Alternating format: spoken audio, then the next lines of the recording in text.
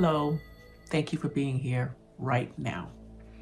My name is Dr. Javare' Phillips, and I'm the author of In Christ Jesus, A New and Living Way. You may ask yourself, what does that mean, being in Christ Jesus? It means living in the fullness of God and His plan for your life. In Jeremiah 29 11, the Bible says, For I know the plans that I have for you plans of good and not of evil. Now, God has a plan for each and every one of us. When I started writing this book, I began journaling. That's how I normally start writing. I journal. And in 2020, I came to a point in my life where I was really questioning what is my purpose on this earth? I had many roles I am a mom, I'm a wife, entrepreneur, and educator. But I came to a point where my somewhere seemed like nowhere. And I wanted to go deeper. So I began to seek God.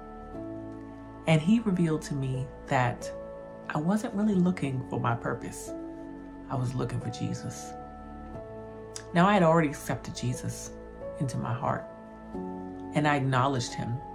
But I wasn't quite living in the fullness of what he had did for me on the cross because in the Bible it says that Jesus is the way, the truth, and the life.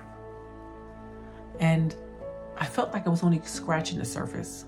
So as I continued on my journey of searching and seeking God, he revealed to me that I was trying to live my life on my own, really instead of looking at Jesus who died for me and resurrected to give me new life, he had already completed the work. I just needed to fix my eyes on him and look to him. And as I began to do that, God began to reveal things to me about how I look at myself, how I view myself and view others and view life and circumstances. And in my book, God gave me some revelations about who I am in Him, and that not only that wonderful act that He did, which was give His life for me and resurrect, but that I could live a new way. A new way. The Bible talks about in Ephesians chapter 4 about the new self. But God also give me, gave me new living. So that means I don't have to worry about what everyone else is doing. I don't have to worry about the timing or when or how because I can depend and rely and lean on Jesus. Jesus already took care of it all for me. Look to Him, He is the way.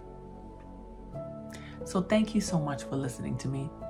Thank you so much. And I hope that you can go on this journey with me and see all the wonderful things that God has showed me through my journey as I discovered that I was really, truly looking for Jesus. Thank you.